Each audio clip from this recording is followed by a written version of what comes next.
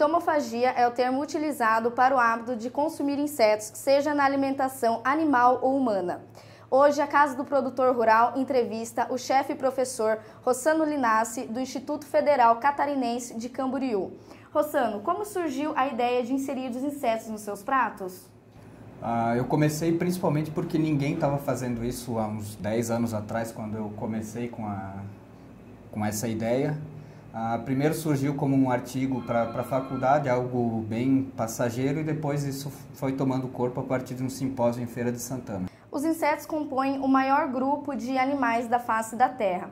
Qualquer espécie pode ser utilizada na alimentação humana? Ah, não, são, são poucas espécies, na verdade, dentro do, do universo que se tem de, de, insetos, né? Então, talvez tenha um milhão de espécies conhecidas e na alimentação a gente tem em torno de 1.800 a 2.000 a espécies catalogadas. De criação, como é o caso desses que a gente tem aqui, ah, são 10, 12 espécies que estão fazendo parte. Algumas baratas, grilos, larvas, ah, larvas de besouro, larvas de mosca, enfim. Tem algumas ah, restrições, principalmente por conseguir fazer com que esse inseto seja produzido em larga escala e que seja comercialmente viável. E eles podem serem consumidos de forma segura? Sim, se forem de criadores autorizados, sim. Ah, tem que tomar esse cuidado, principalmente de não fazer a coleta desses animais em qualquer espaço, em qualquer ambiente, principalmente aqueles que contenham agrotóxico por perto, com lavouras, etc., ou que tenha esgoto, que tenha, enfim, tem, a, a melhor forma é pegar esses insetos de criadores que sejam certificados, tem quatro, cinco ou seis fábricas já no Brasil, esses sim são seguros para serem consumidos. Rossano, como que uma dona de casa pode inserir os insetos no seu cotidiano, em seus pratos? Ah, no Brasil, é, é claro que a gente tem uma diversidade de, de alimentos muito grande e isso acaba é, dificultando essa inserção. De toda forma, ela, ele pode ser substituto para qualquer tipo de carne. Não que ele vá ocupar o lugar da carne, mas ser mais uma opção de proteína que as pessoas podem estar consumindo. E talvez a forma mais fácil seja através das farinhas, em bolos, pães, até para engrossar um molho, enfim, algo mais menos visual e com os benefícios. É, assim como outras formas de preparo de alimento, os insetos podem ser fritos, cozidos, assados ou existe algum tipo de restrição?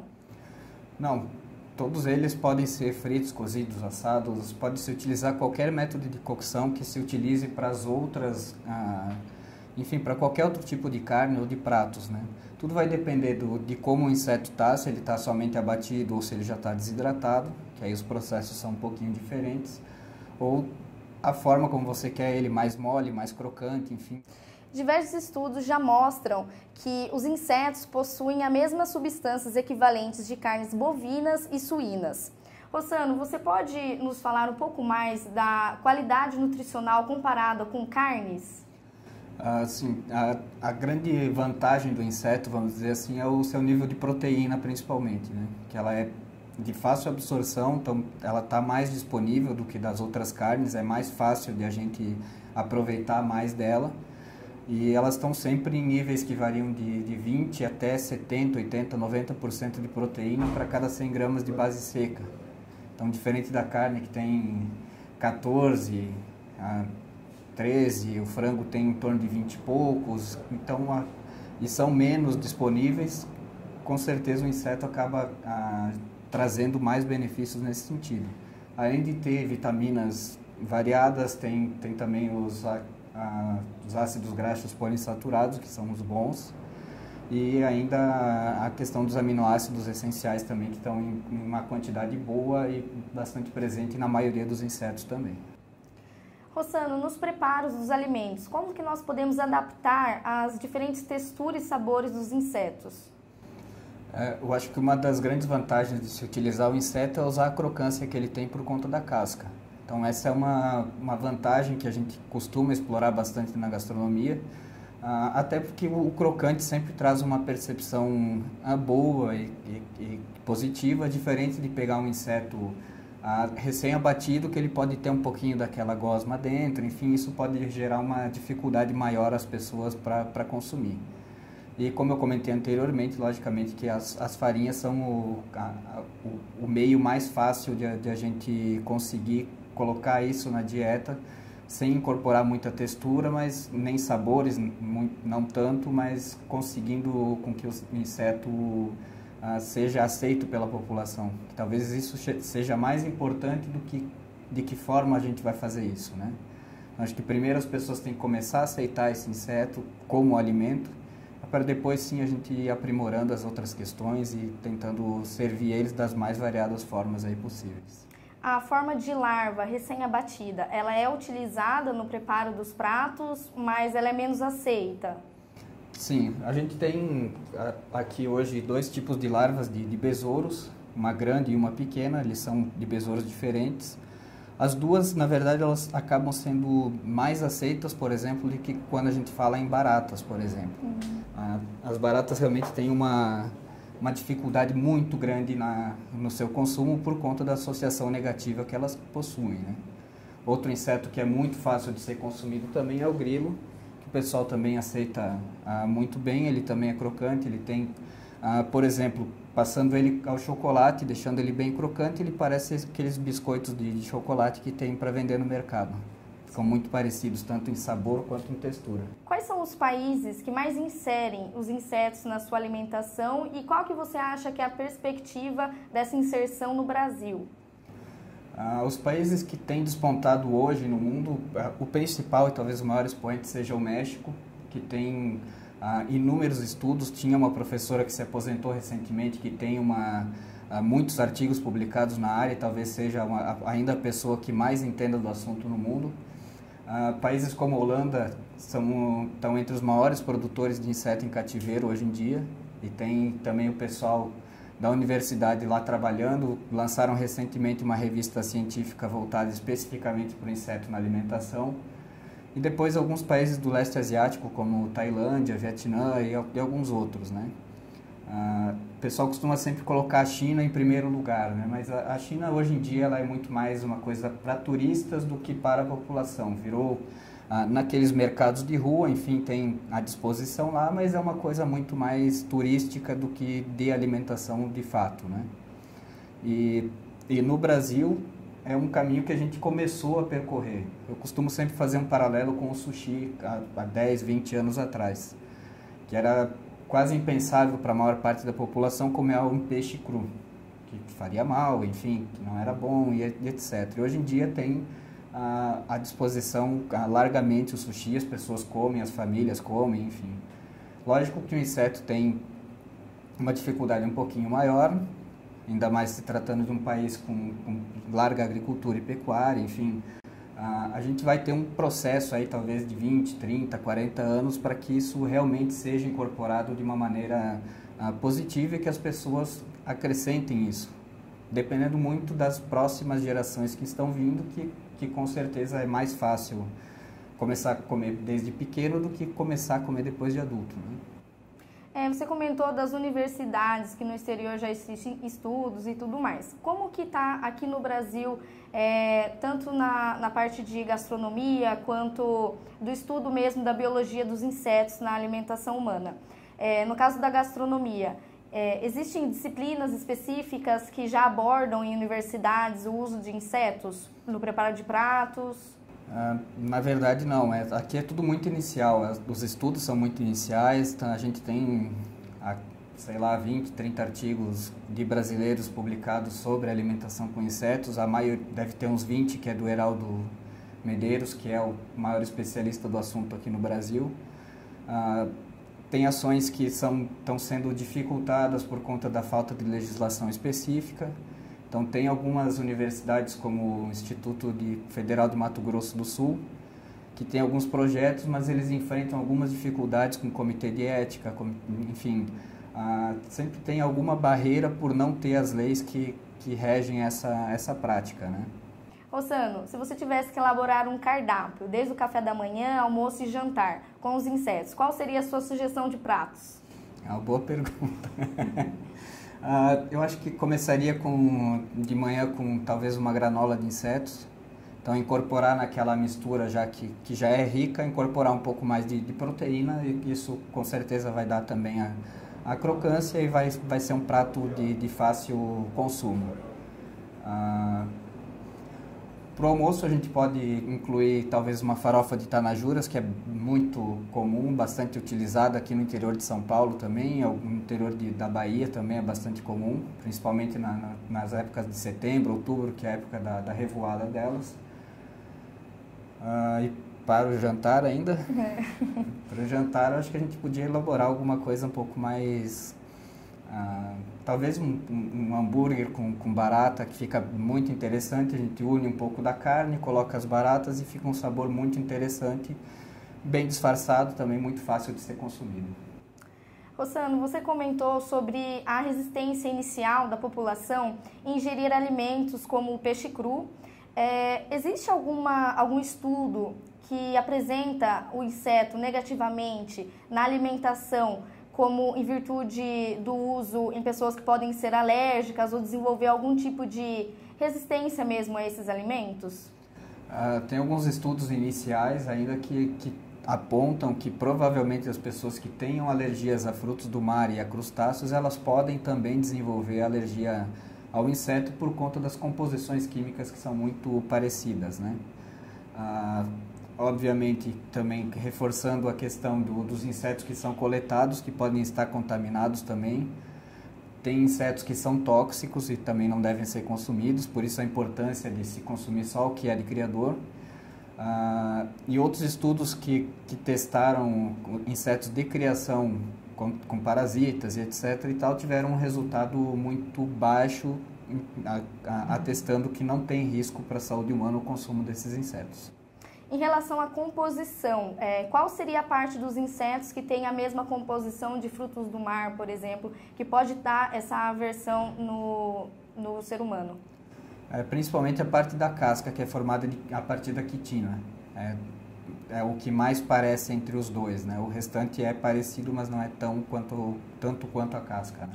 E essa casca existe em todas as classes de insetos. Sim, até mesmo as larvas elas têm uma a, a quitina por fora que é um, também uma forma de proteção desses insetos, né? Faz parte da, da armadura dele, vamos dizer assim, né?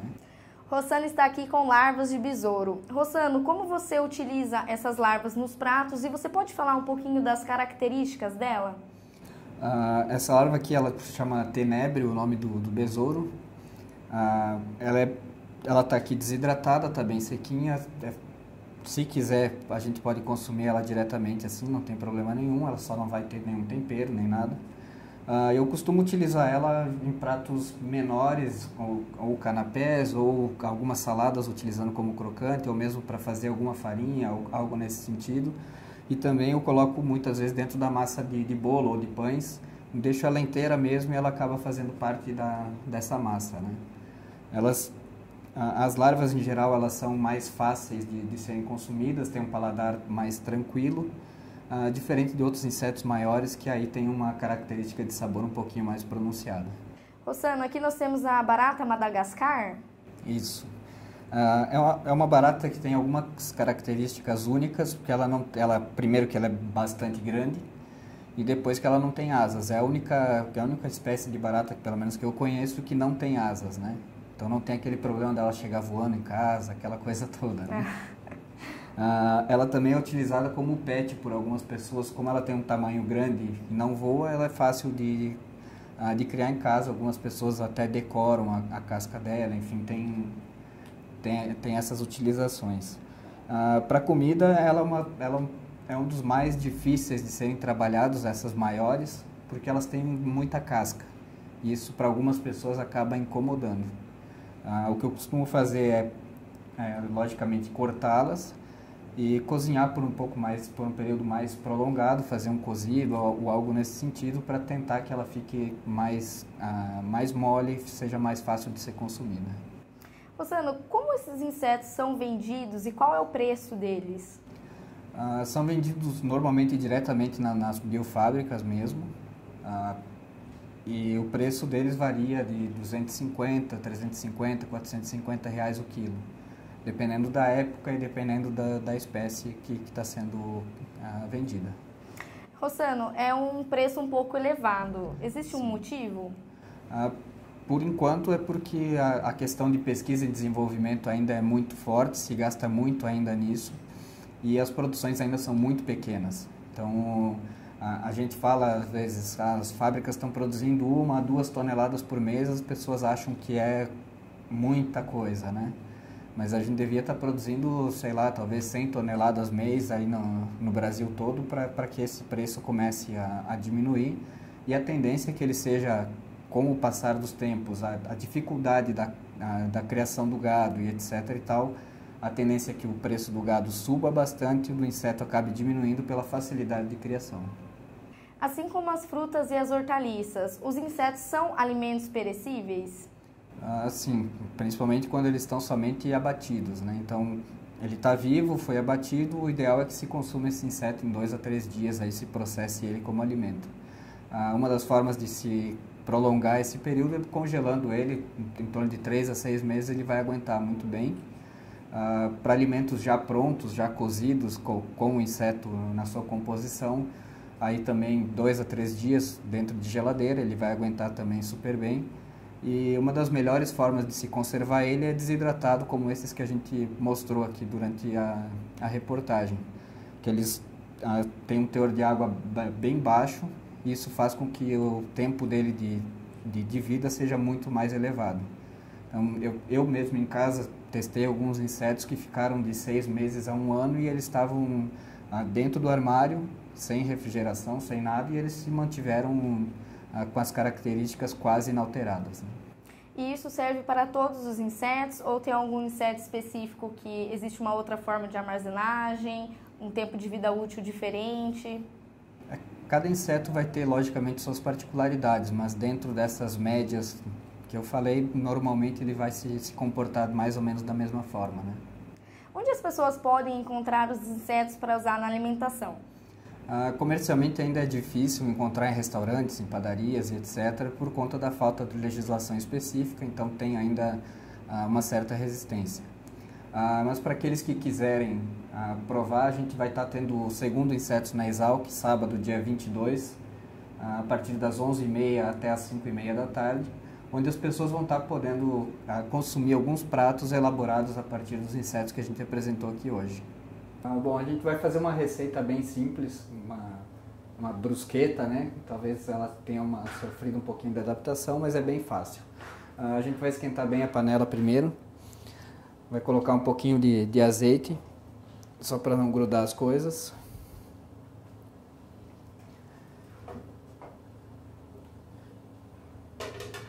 Quando o azeite estiver quente, a gente vai fritar um pouco de cebola.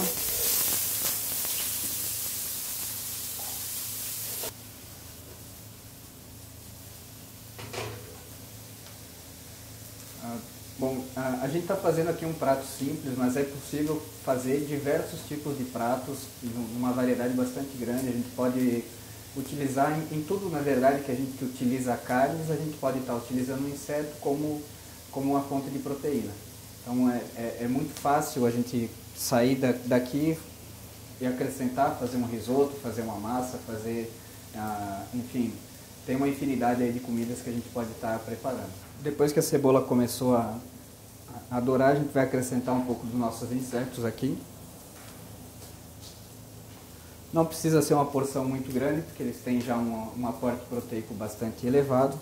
E aqui no caso a gente colocou, acabou de colocar uma larva de besouro, a larva do tenébrio, e a gente vai acrescentar também um pouquinho de larvas de mosca.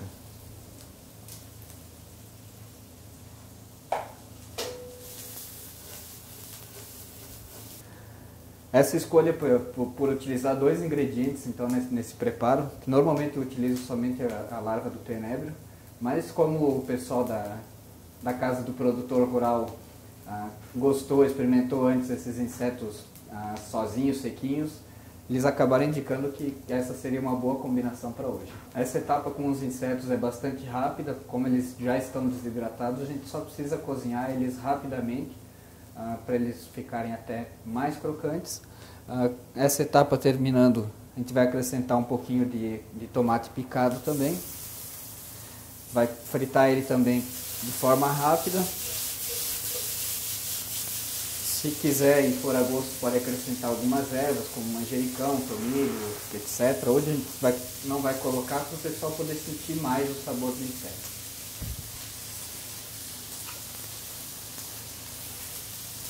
Pouquinho de sal, só para corrigir o tempero.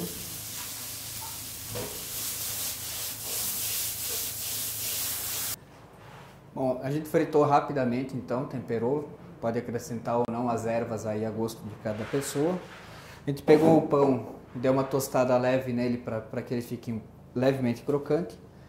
A gente vai só acrescentar um pouco da, da nossa mistura aqui de insetos em cada brusqueta.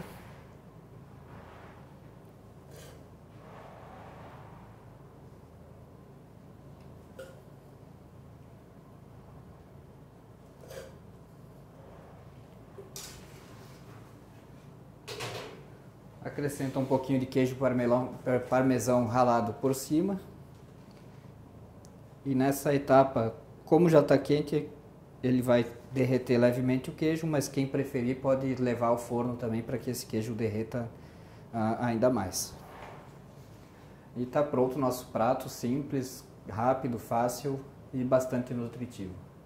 Uh, finalizamos o, nosso, o preparo do nosso prato aqui, da nossa brusqueta, especialmente para o pessoal da Casa do Produtor Rural. E a Luana, que está aqui do meu lado, vai provar o prato e ver se ela aprova e se ela gosta do, do inseto no cardápio. O cheiro tá bom, hein, Rossano? Vamos lá.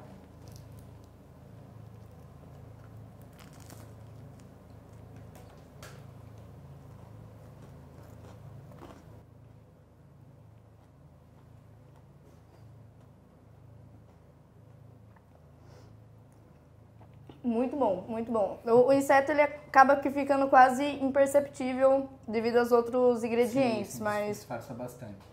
Mas ele dá uma crocância bem legal. Muito bom. Parabéns. Aprovado.